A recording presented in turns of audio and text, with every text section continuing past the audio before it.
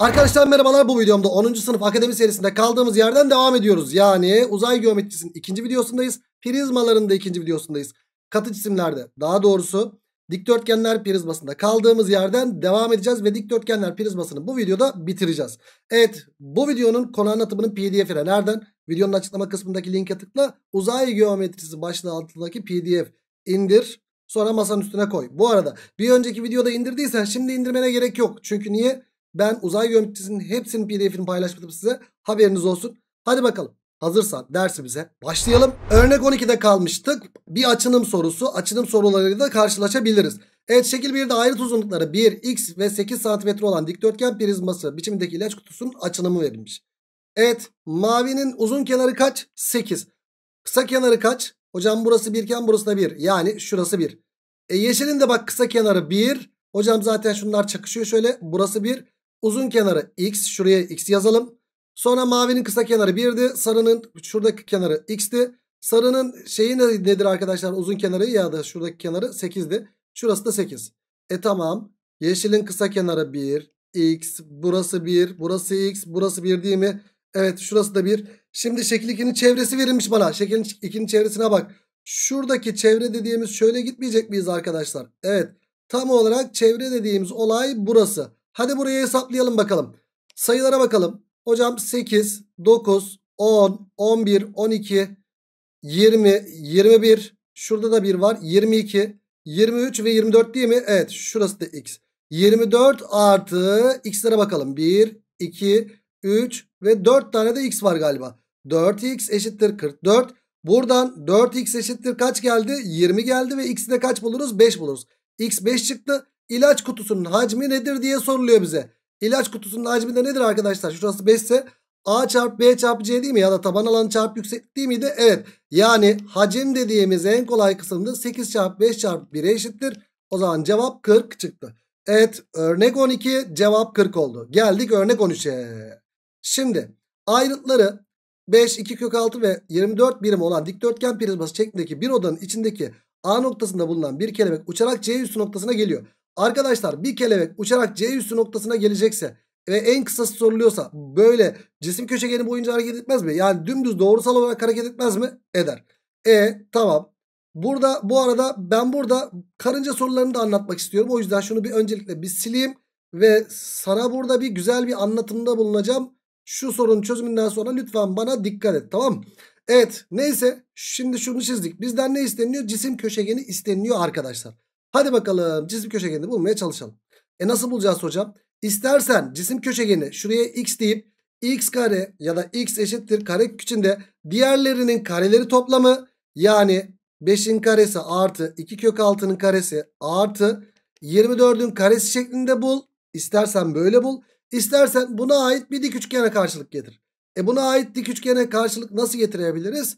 Şu şekilde de getirebiliriz arkadaşlar. Hop şunu şöyle yüzeyden çizecek olursam. Bu zemine dik olduğu için burası 90 derece mi? Evet. Şurada bir Pisagor bağıntısı çünkü burası 90 derece. Pisagor bağıntısından burayı bulurum. Sonra şuradaki Pisagor bağıntısından da x'i bulurum. Bu şekilde de sonuca ulaşabilirsin. Tamam.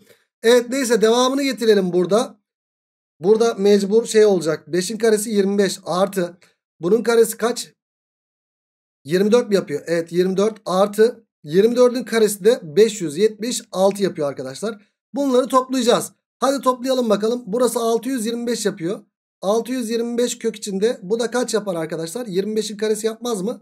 Evet 25'in karesi yapar. Arkadaşlar burada daha kolay bir şekilde bulabilir miydik? Evet buradaki Pisagor'da da uzun çıkıyordu. Daha kolayını şu şekilde bulabiliriz aslında. Hocam şöyle çizip burası da 90 derece diyebiliriz aslında. Çünkü bu düzlemedik ya.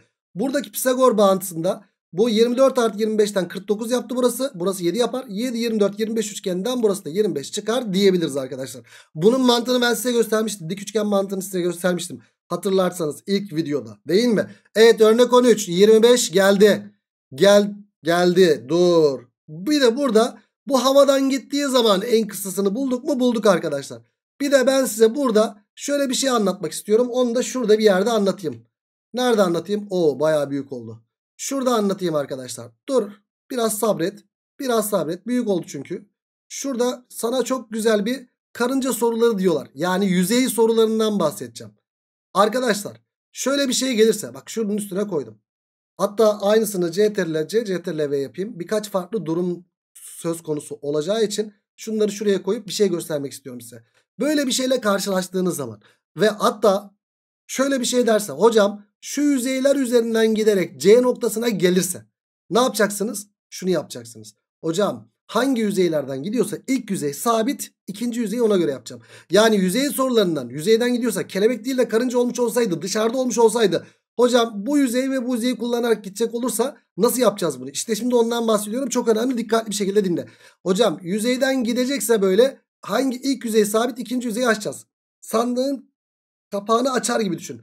Açtın kapağını şöyle mi geldi burası? Evet. Hocam burası burasına eşit. Açtığın zaman burası da eşit oldu. Yani 2 kök 6 iken burası da 2 kök 6. Burası 5 iken burası 5. Sonra bizim eleman buradan geliyor. Buraya gidecekti. Yani buraya gidecek. Hop dümdüz götürürsün. Burada Pisagor bağıntısı yaparsın sonuca ulaşırsın. Tamam. Peki hocam buradaki gittiği yüzeyler önemli mi? Önemli tabi. Bak ya bizim eleman şöyle gitmiş olsaydı. Hocam bir buradan bir de buradan gitmiş olsaydı. Yani ön yüzey ve sağ yüzeyi kullanarak gitmiş olsaydı ne olacaktı? O zaman da şöyle olacaktı. Hocam sağ yüzeyi açacağım. Kapıyı açar gibi. Açtın kapıyı. Kapıyı açtığın zaman da hop şöyle oldu. Hocam burası 2 kök 6 oldu. Burası 5 oldu. Buraya gelecek C noktası bak açtığın zaman şuradan şuraya geliyor. E, bizden ne isteniyor o zaman? Şuradaki uzunluk isteniyor. Buradaki Pisagor bağıntısından sonuca ulaşırsın. Hocam başka durumlar söz konusu olabilir mi? Tabii ki. Bak mesela göstereyim. Hocam şöyle bir şey olursa karınca geldi geldi geldi geldi bu yüzeylerden arka yüzeyden D'ye gitti. O zaman ilk yüzey sabit. İkinci yüzey şöyle açacaksın şunu. Üçüncü yüzeyi de bunun yanına açacaksın. Buradan buraya doğru gideceksin. Hocam başka var mı? Var tabii ki. Bak bir tane daha göstereyim. Hocam bir de bizim karınca içeride olsun. Bak, içeride olsun. Karınca içeride. Bu yüzeyi ve bu yüzeyi kullanarak şöyle gidecek olursa eğer ne oluyor? Arkadaşım bak dikkat et şimdi. Şu yüzey alt yüzeyi ve şurayı kullanarak C'ye gitmiş olsaydı. O zaman hocam alt yüzey sabit. Şuradaki kapağı açacağım böyle. İlk yüzey sabit. ikinci yüzeyi ilk yüzeye göre açacaksın. İkinci yüzeyi ilk yüzeye göre açmak demek. Hop bunu aşağı yatırdım. C noktası buraya mı geldi? Evet. Senden ne isteniyor? İşte buradaki uzunluk isteniyor. Ne yaparsın? Buradaki dik üçgenden şöyle sonuca ulaşırsın. Beşgen burası da 5 olur dersin. 2 kök 6 ise burası da 2 kök 6 dersin ve buradaki Pisagor bağıntısından sonuca ulaşırsın. Bir de böyle yüzey sorularıyla da karşılaşabilirsin. Şimdiden belki sorusu vardır unutmuş olabilirim ama e, sorusu da yoksa bu şekilde aklınızda bulunsun. Bunu da vermeden geçmek istemiyorum. Evet çünkü bunu gördüm ya böyle bu havadan gidiyor ya yüzeyden gitmiş olsaydı aradaki farkı görün diye bu şekilde anlattım. Geldik örnek 14'e. Bir dikdörtgenler prizmasının 3 farklı yüzünün alanları verilmiş. Arkadaşlar dikdörtgenler prizması şu şekilde bir prizma olsun. Soruyu anlayabilmek için basit bir şekilde şekli çiziyorum. ABC olsun burası da. Hocam 3 farklı yüzeyi. Bir tanesi budur. Bir tanesi burasıdır. Bir tanesi de üst tarafa değil midir? Evet. Hocam burası C iken burası C. Sonra şurası da e, burada, buradaki yüzeyi ne yapıyor? A çarpı C yapıyor. A çarpı C'yi vermiş bana. 15. Sonra hocam arka yüzeyde var. Arka yüzeyde A çarpı C yapıyor. Farklı yüzey olmuyor. Farklı yüzey 24 olacak. O da B çarpı C olacak. Mesela B çarpı C burası. B çarpı C'yi de kaç vermiş? 24 vermiş. Burası 15. Burası 24. Başka bir de ne var? 40 var. Hocam 40 da neresi? Şu üst yüzey olmaz mı arkadaşlar? Evet. O da A çarpı B olmaz mı? Evet. A çarpı B'yi de kaç vermiş? 40 vermiş. Evet bana bunları vermiş. Hocam ben buradan ne yapabilirim? Valla iki bilinmeyen iki denklem falan filan yapabilirsin. Mesela şu ikisini düşünsen. Taraf tarafa oranlasan. A bölü B geliyor. Buradan 15 bölü 24 geldi. Hatta 3'e böl 3'e böl e, kaç yaptı? 5'e 8 yaptı. Hocam A 5K B 8K diyebilirsiniz. 5K'ya 8K deyip buradan e, K'yı bulursunuz. K'yı da bulduktan sonra AB çıkar. AB çıktıktan sonra da CC çıkar mı? Çıkar. Ya da ne yaparsınız? ÖSYM böyle soruları çok sever ve sormuşluğu da vardır. Sınavınızda çıkmaya aday sorulardan biridir. Şu soru ve sonraki soru sözel sorular. Hocam benden bunlar verilmiş ve ben neyi, benden ne isteniyor? Hacim isteniyor. Hacim dediğimiz nedir? A çarpı B çarpı C. Biz matematikte ne yapıyoruz genelde? Denklemler verildiği zaman taraf tarafa toplamayı ya da taraf tarafa çıkartmayı çok seviyoruz. O zaman burada da taraf tarafa toplarsam AC, BC ve AB'yi bulurum. İşime yaramaz. Ama benden hacim isteniyor ya çarpımları taraf tarafa çarparsam ne geliyor? Hocam A kare, B kare, C kare mi geliyor? A kare, B kare, C kare 15 çarpı 24 çarpı 40'a eşittir. Her iki tarafın karekökünü alacak olursam eğer Hocam burası ne yaptı? 15 dediğim 5 çarpı 3. Şurası 3 çarpı 8. Burası da 8 çarpı 5 değil mi? Evet. Bunun karekökü ABC yaptı. Hocam 5'lerden 2 tane var bir tane 5 çıkar. 3'lerden 2 tane var bir tane 3 çıkar. 8'lerden de 2 tane var bir tane 8 diye çıkar. O zaman cevap ne yaptı? Cevap 5 kere 8 40. 40 ile de 3 çarptığınız zaman 120 çıktı. İlk baştaki gibi oranlayıp da böyle K katı şeklinde verip A'yı da B'yi de bulabilirsiniz. Ama direkt benden hacim isteniyordu. Hacim de böylelikle ne çıktı? 120 çıktı arkadaşlar. Evet örnek 14 120 oldu. Bu soruya dikkat. Hatta bu soruya da dikkat. Bir dikdörtgenler prizmasında şöyle bir şey verilmiş bize. 1 bölü A, 1 bölü B ve 1 bölü C kaç verilmiş arkadaşlar? 1 bölü 6 verilmiş. Evet bunu yazalım. E ne yaparız burada? Rasyonel sayılarda ne yapıyorsak onu yapacağız. Ne yapacaksın? Payda eşitle. Hocam burayı BC ile, burayı AC ile, burayı da AB ile çarparsam eğer ne geliyor? BC artı AC artı AB neye eşit oluyor? Bölü ABC oldu. Neye eşitmiş? 1 bölü 6'ya eşitmiş. Prizmanın hacmi 120'ymiş. Hacim dediğimiz nedir arkadaşlar? A çarpı B çarpı C değil mi? Evet bunu 120 vermiş. Bunun yerine 120 yazarsam BC artı AC artı AB bölü 120 eşittir 1 bölü 6'dan sadeleşsin 20 yaptı. BC artı AC artı AB'yi kaç bulduk? 20 bulduk. Bizden yüzey alan isteniyor. E arkadaşım yüzey alanı dediğimiz nedir? Kenarların ikişerli çarpımıydı. 2 tane AB, 2 tane AC, 2 tane BC değil midir arkadaşlar? Evet. Bu alana eşittir. E burada iki parantezini alacak olursam AB, AC ve BC'ye eşittir. E hocam şunu bulduk zaten 20. O zaman cevapta ne çıkıyor arkadaşlar? 40 çıkar. 2 çarpı 20'den cevap 40 oldu. Böyle matematiksel sözel sorularda matematiksel yani çarpanlara ayırmayı kullandırmalı sorularla karşılaşacaksınız. Ben olsam öğretmeniniz olsam sınavda ya bu sorudan ya da şu sorudan mutlaka mutlaka sorarım haberin olsun. Tamam dostum. Evet örnek 15'i bu şekilde bulduk geldik örnek 16'ya. Bir Dikdörtgenler prizması 5, 3 ve 10 şeklinde verilmiş. Bir marangoz suntadan yukarıdaki ölçüleri verilen dikdörtgenler prizması şeklindeki kitaplığı yapacaktır. Buna göre en az kaç birim kare sunta gerekir? Arkadaşlar şimdi suntaya baktığın zaman ne var burada? Bak ön tarafa açık bir de suntalarla şu kitapları koyacak şekilde. Şurada da bir dikdörtgenler var mı arkadaşlar? 3 tane dikdörtgen de var onu da koyacağız. E hocam şimdi tüm alanı ayrı ayrı da bulabiliriz. Ya da dikdörtgenler prizmasından şu kapak burası açık bak burada bir kapak kullanmamış. Şurayı çıkartmayacak mıyız? Evet. O zaman dikdörtgenler prizmasının alanını nasıl buluyoruz? 10, 5 ve 3. Kenarların ikişer çarpımının iki katı. Hocam 50'nin iki katı 100 artı 15'in iki katı 30 artı 30'un iki katı 60 eksi buradakini çıkartacağım. Burası 5 5'e 10 ya 5 çarpı 10'u çıkartacağım. Ama bir de ne var? Hocam şuradaki yüzey alanları var. Şurası kaç? 3. Hani şuradaki dikdörtgenin bu kenarı 3. Bu kenarı da 5 olduğu için 3 çarpı 5'ten kaç tane var arkadaşlar? 1, 2, 3 tane de burada var. Çünkü bu kitaplığı yapmak için bu suntaları da kullandı. İşte bize burada bunun yüzey alanı isteniyor. Ha bu suntanın kalınlığı ihmal edilecek diyor ya. Yani şuradaki dikdörtgeni bulurken üst yüzeyini bulduk ya alt yüzünü saymamıza gerek yok. Belli bir kalınlığı yok. Kalınlığı olmadığı için sadece şuradakileri üst yüzeyleri saymamız yeterli olacaktır. E o zaman burası kaç yaptı? Hocam 130 190 yaptı. Eksi 50 yaptı. Eksi bu 3 çarpı 5'ten kaç tane vardı? 3 tane vardı. Burası da 45 yaptı. Yani 95 190 eksi 95 ile kaç yapıyor? Sanırım 95 yapıyor. Örnek 16'yı böylelikle 95 bulduk. Geldik örnek 17'ye. Sözel bir soru bakalım ne diyor. Bir dikdörtgenler prizmasının tüm ayrıtları birer birim uzatılırsa. Arkadaşlar dikdörtgenler prizmasının bir kenarına ben kenarlarına daha doğrusu A, B, C diyeyim. Ben tüm ayrıtlarını bir birim uzatırsam şimdi. Yani burası A artı 1 burası B artı 1 burası da C artı 1 olursa. Ne oluyormuş? Hacmi 68 artıyormuş. Hmm. Arkadaşlar hacmi 68 artıyorsa A artı 1 çarpı B artı 1 B artı 1 çarpı işlem kalabalığı olacak o yüzden kafayı salladım. C artı 1'den e, neyi çıkartacağım? Şunun hacminden bunun hacmini çıkartırsam A, B, C'yi çıkartırsam bu neye eşitmiş? 68'e eşitmiş arkadaşlar. Eyvah eyvah.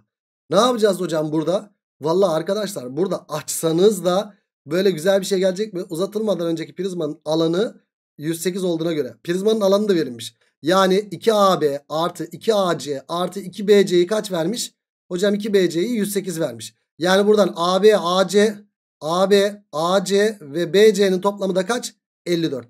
Hadi bakalım açalım şunu şöyle arkadaşlar. Yapacak bir şey yok. Şunu açarken. Şimdi önce şunu şunun ikisini çarpayım. Hocam bu AB artı A artı B yaptı. Şöyle AB artı A artı B artı 1 mi yapıyor? Evet artı 1 yaptı burası. Sonra burada bir de C artı 1 var. Eksi ABC var eşittir 68'miş burası. Sonra şunu dağıtıyorum. AB'yi buna çarptım. ABC yaptı. Sonra AB'yi buna çarptım. Artı AB yaptı. Sonra A'yı dağıtıyorum. AC artı A yaptı. AC artı A yaptı. Sonra B'yi dağıtıyorum. BC artı B yaptı. BC artı B yaptı. Sonra 1 dağıtıyorum. C artı 1 yaptı arkadaşlar. Eksi ABC kaçmış? 68'miş. Eksi ABC ile artı ABC gitti mi? Gitti. Hocam burada AB, BC ve AC de olması lazım ya burada. Ee, nerede? Ha, AC de var burada. Şunların toplamında zaten 54 değil mi? Evet 54'ü yazalım. Bir de burada A, B ve C var. Bir de ne var? Artı 1 var. Artı A artı B artı C var. Artı bir de 1 var. Değil mi? Evet artı 1 var. İşte bu da kaç eşitmiş? 68'e eşitmiş. Hocam burası kaç yaptı? 55 yaptı. 68'den 55'i çıkartırsam A artı B artı C'yi ne buluruz? A artı B artı C'yi 68'den 55 çıkartacağım. 55 çıkarttığın zaman kaç geliyor? 13 mu geliyor? Evet 13 şeklinde buluruz. Bizden ne isteniyor? Ayrıtlar uzatıldıktan sonra farklı ayrıtların uzunlukları toplamı isteniyor.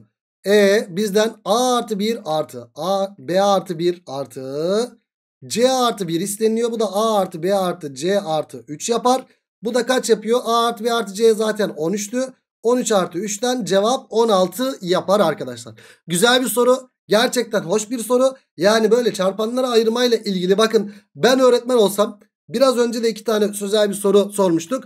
Böyle bu sorulardan birini mutlaka mutlaka sorarım. Ne yapacaksın? İşlem yapacaksın. Elin çalışacak. Korkma kardeşim yap işlemini tamam mı? Evet cevap 16 çıktı. Bir an korktum. Çıkmasaydı böyle değer vererek yapacaktım. Acaba 3, 4, 5 olur mu ya da 3, 5, 6 olur mu diye değer vererek yapacaktım arkadaşlar. Hani 3, 4, 5 verip de sonra burası e, 3, 4, 5 olduğunda 4, 5, 6 olacaktı. Bunun hacminden bunun hacmini çıkartıp 68 yapıyor mu yapmıyor mu diye bakacaktım.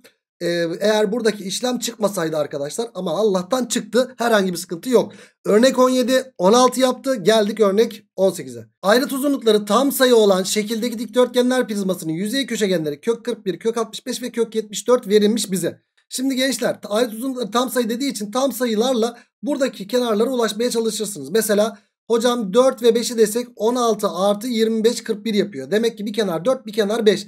Diğer kenarı da ona göre bulursunuz. Ama ben burada işi riske atmayayım. Şu tam sayı olmadan tam sayı demeyelim tamam mı? Tam sayı olmadan soru böyleyken nasıl çözeceğiz bir de ona bakalım isterseniz. E, o şekilde çözüm yapmaya çalışalım. Burada da yüzey köşegenleri verilmiş. Bu arada şekil çizilmek zorunda da değildi. Biraz önceki yaptığımız sözel soruların aynısı da diyebiliriz arkadaşlar. Yine ben olsam sınavda sorarım ya da ÖSYM bu tarz soruları seviyor arkadaşlar. Evet yüzey köşegeni mesela farklı yüzey köşegeni. Hocam bir tanesi buyken bir tanesi bu değil. Sağ soldaki yüzey köşegenleri aynı. Ön arkadaki yüzey köşegenleri aynı. Öndekini çizdiyken arkadakini çizmene gerek yok. Alt üstteki yüzey köşegenleri aynı. Üsttekini çizdiyken alttakini çizmene gerek yok. E mesela burası kök 41. Burası kaç olsun? Kök 65 olsun. Burası da kök 74 olsun mesela. E burası B iken burası da B oldu. Hatta burası A iken burası da A oldu. Burası da C mi oldu? Evet. Buradan ne geldi? Hocam üstteki Pisagor yapacak olursam A kare artı B kareyi eşittir 74 buldum. Sonra A kare artı C kareyi ne buldum? A kare artı C kareyi eşittir 65 buldum. Bir de B kare artı C kare var. B kare artı C kare de kaça eşit oldu? 41'e eşit oldu. E ne yapalım? Şu ikisi mesela. Şu ikisine bakalım kardeşim. Şöyle C ile C yapıp şurada işlemi kolaylaştırayım. Şuraya bakacak olursak hocam iki bilinmeyen denklemleri çözeceğiz. Şunları taraf tarafa çıkartırsam yani eksiyle çarpıp taraf tarafa toplarsam a kareler gidiyor. B kare eksi c kare mi oluyor? Evet b kare eksi c kare de neye eşit oldu? 9'a mı eşit oldu? Aynen öyle. E kardeşim b kare eksi c kare var burada. B kare artı c kare de var burada. E o zaman b kare artı c karenin ben 41 olduğunu biliyorum. B kare eksi c karenin de eşittir 9 olduğunu biliyorum. Taraf tarafa toplarsam c kareler gider. 2b kare eşittir 50 gelir. B kare eşittir 25 gelir. B'yi de kaç bulurum böylelikle? 5 bulurum. E B'yi 5 buldum ya artık yaz yerine. B yerine 5 yazdığımızda hocam burada yerine yazdığım zaman ne geliyor? 25. A kare artı 25. A kare artı 25 eşittir 74'ten. Öbür tarafa atarsak sanırım 49 yapıyor. A kare 49'dan A'yı 7 bulurum. Alttakinde a kare artı c kare var. Ee, a'yı 7 buldum. b'yi de buldum. O zaman a'yı 7 bulduysam c isteniyor benden. Neyse b kare artı c kareye bakayım. B dediğim şu 25 artı c karede neye eşit olacak arkadaşlar? 41'e eşit olacak. E burada buradan bunu çıkartırsak 16 geliyor. C'yi de kaç bulmuş olduk? 6 bulduk. Prizmanın yüzey alanı isteniyor bizden. Arkadaşlar A, B, C'yi biz artık bulduk. A'yı kaç bulduk? A'yı 7 bulduk. B'yi kaç bulduk? 5 bulduk. C'yi de kaç bulduk? 6 bulduk. Hacim isteniyor. A çarpı B çarpı C'dir. O da 7 çarpı 5 çarpı 6'ya eşittir. 6 kere 5 30. 30 ile de 7'yi çarpınca 210 çıkıyor. Evet. Örnek 18. Böylelikle ne çıktı? 210 çıktı. Değer vererek de bulabilirdiniz. Ama burada tam sayı olmak tam sayı olmak şey, durumunda değil. Konuşamıyorum ya. Tam sayı olmak durumunda değil. Bazen bu şekilde verilmezse şu şekilde çözümü de öğrenin istedim açıkçası. Evet örnek 18'i bu şekilde bulduk. Geldik örnek 19'a. Evet biraz hacim sorularına bakalım. Şekildeki dikdörtgenler prizması K noktasına kadar su ile doldur. Yani yarısı yüksekliğine kadar su ile doldur. Bu prizma ADHE arkadaşlar. Hangisi? ADHE. Arkadaşlar bu prizmayı ben şu yüzeyi üzerine yatırırsam diyor. Yüksekliği ne olur diye soruluyor. Arkadaşlar içinde su koyarlar. Böyle prizmaların içine su koyarlar. Prizmaların içindeki su nasıl çevirirsen çevir aynı olmaz mı? Yani burada V su önemli. V su hacmi. Bütün hepsinin hacmi önemli değil. Su verilmişse suyun hacmine bak. Hocam suyun hacmi nedir? Şu 10 çarpı 6 çarpı 4'e eşit değil midir? Evet. 10 çarpı 6 çarpı 4'e eşittir. E sen bunu bu yüzey üzerine yatıttırırsan o zaman şöyle bir prizma çıktı karşımıza. Bu yüzeyi üzerine yatıttırdığımız zaman taban yüzeyi kaç yaptı? Hocam 8'e 6 yaptı. 8'e 6'lık oldu. E bizim suyumuz da şuraya kadar gelecek arkadaşlar böyle. İşte buradaki su yüksekliği soruluyor. E hocam bu yüzey üzerinde yani 8'e 6'lık dikdörtgen yüzeyine yatırdığımız anda taban alanı çarpı yükseklikte suyun hacmini vermez mi? Evet. Bu da suyun hacmine eşit olduğu için 8 çarpı 6 çarpı h da 10 çarpı 6 çarpı 4'e eşittir. Çünkü niye? Cismin içindeki su her ikisinde de aynı yani V sular eşit. Bu da sınavda çıkmaya aday sorulardır. Böyle sorularla da karşılaşıyoruz arkadaşlar. Burada lütfen dikkat edin. 6'lar sadeleşti mi sadeleşti. 4 ile de bu sadeleşse 2. 10 bölü 2'den de h'ı kaç buluruz arkadaşlar? 5 olarak buluruz. Yani bu yüzey üzerine yatırdığım zaman yüksekliğimiz kaç olacakmış? 5 olacakmış. Örnek 19 5 çıktı. Geldik örnek 20'ye. Dikdörtgenler prizmasının yarısına kadar su ile doludur. E yarısına kadar su ile doluysa bunlar birbirine eşit. Prizmanın içine bir ayrıtı prizmanın yüksekliğine eşit olan bir küp atılınca su kapı taşmadan doluyor. Evet içine atalım bakalım. Şöyle bir küp attım. Küpü atınca arasına ne oluyor? Su taşmadan doluyormuş. Yani şu araya da su doluyor diyor bize. İşte AB 6 BC 4 olduğuna göre prizmanın yüksekliği kaç birimdir diye soruluyor. Şimdi bununla ilgili farklı farklı soru tiplemelerinden karşılaşabilirsiniz. Mesela şöyle bir soru olmuş olsaydı. Arkadaşlar bunun içi tamamen su dolu olmuş olsaydı. Bak bunun içi tamamen su dolu olmuş olsaydı ve içine bir cisim atmış olsaydım. Mesela şöyle bir küp atmış olsaydım böyle içine. Şuradan şuraya taşan suyun hacmi küpün hacmine eşit diye yorum yapabilirdin. Ya da şöyle bir şey olmuş olsaydı e, belli bir yüksekliğe kadar atıyorum şu yüksekliğe kadar su olmuş olsaydı böyle ve şuraya kadar kısmı su ile dolu olmuş olsaydı şöyle bir soru olabilirdi. Bunun içine herhangi bir cisim atsam fizikten de biliyorsunuz mesela şöyle bir cisim attım. Cisim attığım zaman ne olacak? Su yükselecek. Ne kadar yükselecek? Bak şöyle yükselecek. Şu kadar bir su yükselmesi olacak. Hocam o zaman böyle bir su yükselmesi varsa hacmi kadar su yükselir. Yani şuradakinin hacmini bulup şuradakinin hacmini de bulmuş oluruz arkadaşlar. Bu şekilde basit klasik sorularda bu şekilde hamle yapabilirsiniz. Ama burada sen bunu böyle yaptığın zaman ne oluyor? Arada falan su kalıyor tamamen batmış oluyor ama sıkıntı olmuş oluyor. Ama bence burada bu soruyu çözerken buradaki teknikleri kullanarak değil de suyun değişmezliğini kullanabiliriz. Su hala aynı mı? Aynı. İlk şekildeki V su neye eşit arkadaşlar? Hocam ilk şekilde V su şuraya H diyecek olursam 6 çarpı 4 çarpı H eşit değil mi? Evet 6 çarpı 4 çarpı H eşit. E su değişmedi. İçine bir küp attım. Ne oldu? Dikdörtgenler prizmasıyla ne oldu? Kübün arasındaki şey yani kübün arasındaki şu su yine aynı su değil mi? Herhangi bir taşma falan olmadığı için aynı sudan bahsediyoruz. Bak tekrar söylüyorum. İlk baştaki suyumuz bu kadar. 6 çarpı 4 çarpı H'lık su. Sonra ne oldu? Bir küp koydum. O zaman dikdörtgenler prizmasıyla kübün arasındaki Su yine aynı su değil mi? Evet yüksekliği bu sefer ne oldu? 2H oldu. O zaman ben dikdörtgenler prizmasının hacminden kübün hacmini çıkartacağım. Hadi çıkartalım bakalım. Dikdörtgenler prizmasının hacmi 6 çarpı 4 çarpı tamamı yani 2H eksi kübün hacmi de hocam kübün bir kenarı ne oldu? Bak burası 2H oldu. Burası da 2H burası da 2H. Görmedik ama biliyorsun taban alanı çarpı yükseklik yani 2H çarpı 2H çarpı 2H. İşte buna eşit olacaktır. E o zaman buradan ne geldi arkadaşlar? 24H eşittir. Hocam bu 48H eksi 8H küp yaptı. Bunu bu tarafa attım. 8H küp eşittir. 24H mi yaptı? Evet. H'lardan birer tanesi sadeleşti. 8H kare eşittir. 24 yaptı. H kare de buradan kök 3'e 3'e eşit oldu. E H kare de buradan 24 bölü 8'den 3'e eşitse H'ı da ne bulduk? Kök 3 bulduk. Ama bizden ne isteniyor? Prizmanın yüksekliği isteniyor. Yani 2H isteniyor. O zaman 2H'da ne çıkacaktır? 2 kök 3 çıkacaktır. Evet cevap böylelikle 2 kök 3 oldu arkadaşlar. Bakın fizikte gördüğünüz bilgiyi burada da aktardım size. Tekrarlayalım. Tam dolu bir şeyi böyle içine bir cisim attığınız zaman buradaki cismin hacmiyle V taşan eşit. Ya da belli bir yüksekliğe kadar atılmış ve içine tam giren bir şey attığınız zaman da hacmi kadar su yükseltir. Yani bunun hacmini bulurken şu V yükseleni bulmanız yeterli dedik.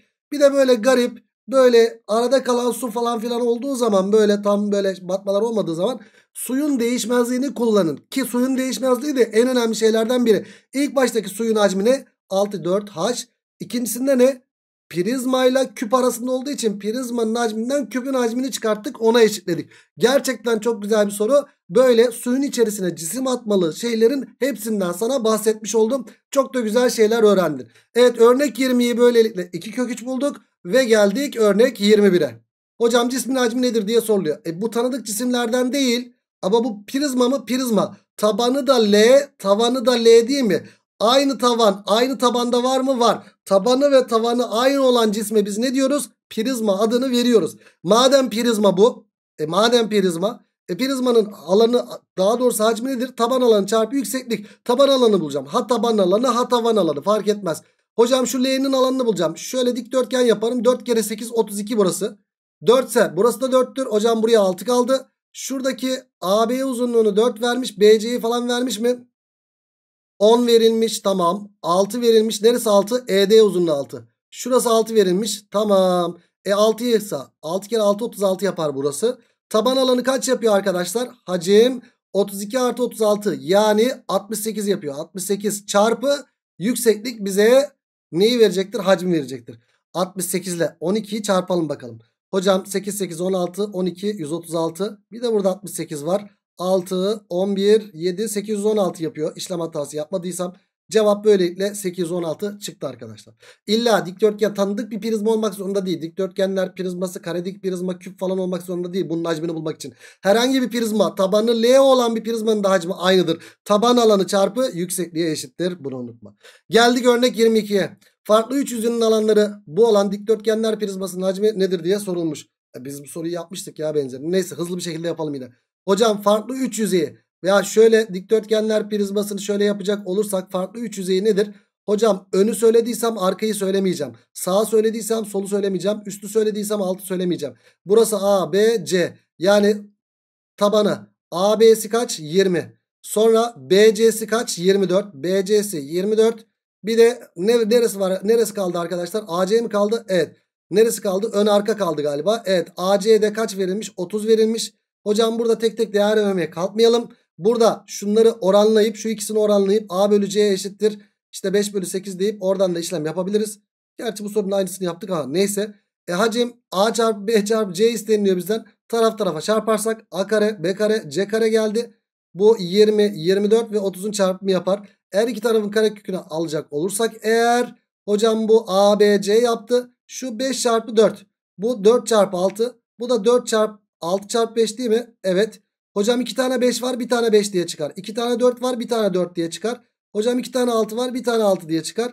E o zaman burada kaç yaptı? 120 mi yaptı? 5 kere 4 20. 5 kere 4 pardon. 5 kere 4 20 evet. 120 diye yaptı arkadaşlar. Evet bu sözel sorulara lütfen dikkat edin. Benzerini de çözmüştük ama fazlalık olmuş oldu ama olsun yine de şey yapalım biz bunu. İyice anlayın diye yazdık diyelim. Tamam mı? Öyle geçiştirelim. Neyse geldik şuraya. Şekildeki dikdörtgenler prizmasının bazı yüzeyleri boyanmış ve harfler verilmiştir. A, B, C verilmiş. Prizmanın A yüzeyi yüzeyinin üzerine konulduğunda dokunulabilen yüzey ne diyor? Dokunulabilen yüzeylerin alanları toplamı 46. Hmm. Hocam bu yüzeyi üzerine koyacak olursam bak çok güzel bir soru arkadaşlar. ÖSYM bu soruları gerçekten ama gerçekten çok seviyor. Arkadaşlar şurası C, burası da C, burası B iken burası B, burası A, burası da kaç? B. Pardon A değil mi? Evet. Normalde bunun yüzey alanı ne? Hocam 2AB artı 2AC artı 2BC değil midir? Evet. Bu yüzey alanı bu normalde. Bana diyor ki ben A yüzeyi üzerine koyacak olursam dokunulabilen yüzey alanları toplamı 46 demiş. Hocam burada ben bu yüzeyi kapattıysam bu yüzeyi böyle hop alta koyduysam o zemine dokunamıyorum. Geri kalanlara şey yapacağım. Normalde tüm alan neydi? Hocam 2AB artı 2AC artı 2BC değil miydi? Evet. E hocam burada A'yı kapattığım zaman bu alana dokunamıyorum. Yani bu tabana geldiği zaman. Yani AC'lik alan gitti. Buradan AC'lik alanı çıkart bir tanesini çıkart. O zaman bir tane AC'lik alan mı kaldı? Evet. Yani 2AB, AC ve 2BC'nin toplamı sana kaç verilmiş? 46 verilmiş. Sonra B yüzeyinin üzerine konulduğunda B yüzeyi üzerine koyduğumuzda da normalde iki alan 2AB, 2AC ve 2BC idi.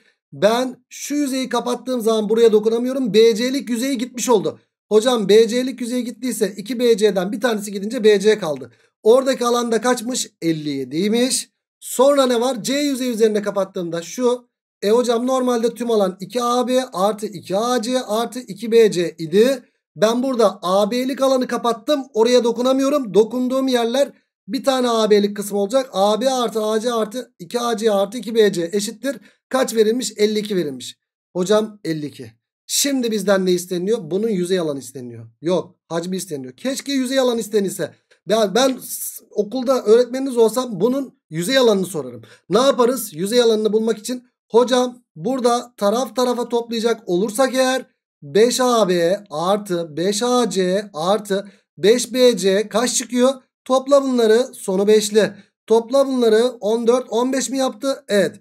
Ee, burası kaç yaptı? 9 16 15. Burası da 14 15 yaptı. 5'e böl A artı yok AB artı AC artı BC'yi de kaç bulmuş olduk arkadaşlar?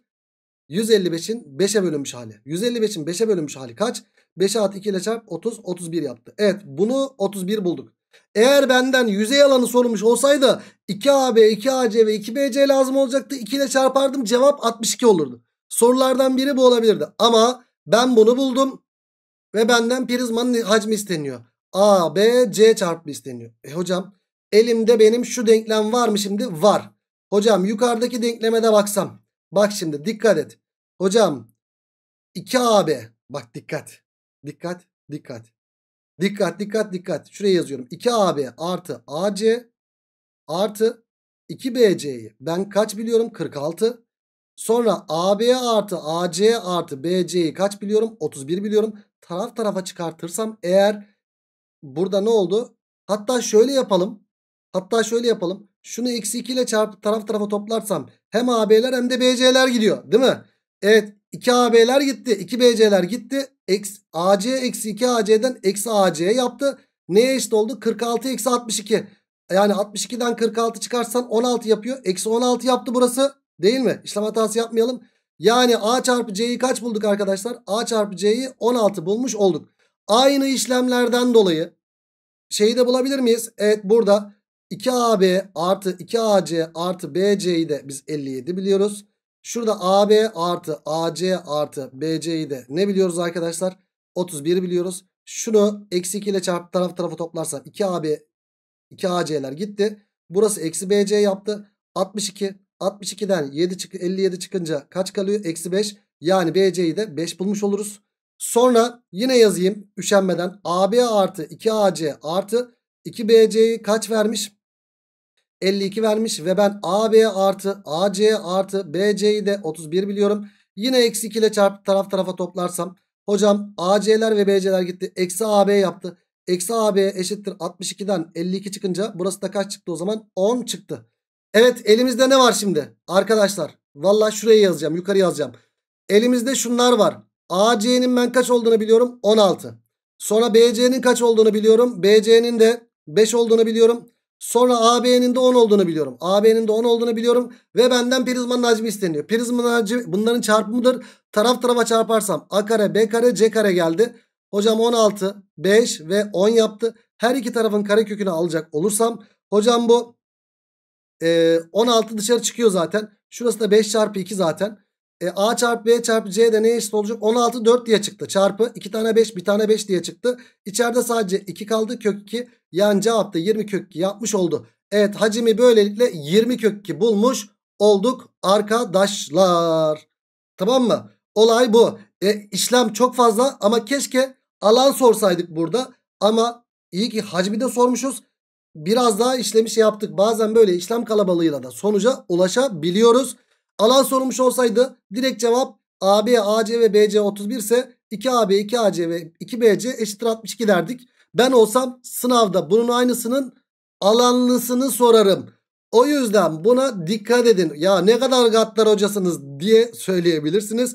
Bu zamana kadar yaptığımız şeyler üst üste biniyor. Biz şu teknikte böyle e, bunlarla ilgili bilim yani denklem çözümü yaptık zaten bu zamana kadar. Seni ısındırdım aslında bu soruya. Sonra burada şununla da ilgili bir şey yapmıştık soru yapmıştık. Hatta bir önceki soruda hatırlatma yapmış olduk zaten burada. Ve böyle bunları da üst üste koyunca bu tür sorularla da karşılaşabiliyoruz. ÖSYM soruyor mu? Soruyor arkadaşlar.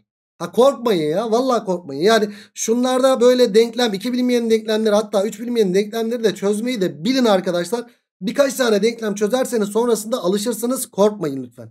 Evet geldik şuraya. Şekildeki yani örnek 24'e. Şekildeki dikdörtgenler prizmasının ayrıtları 9, 8, 6 birimdir.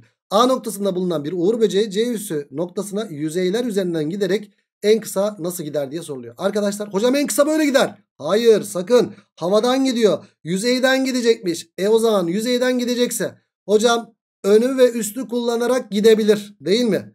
Evet. Şimdi ben burada biraz bu soru sıkıntılı bir soru. Ben olsam bu soruyu nasıl sorarım? Hocam şu şekilde bir saniye. Şunu bir daha kopyalayayım. Çünkü yapıştırmak lazım olacak şimdi arkadaşlar. Ben olsam bu soruyu nasıl sorarım? Uğur böceği şu ön yüzeyi ve üst yüzeyi kullanarak buraya gitti diye sorarım mesela.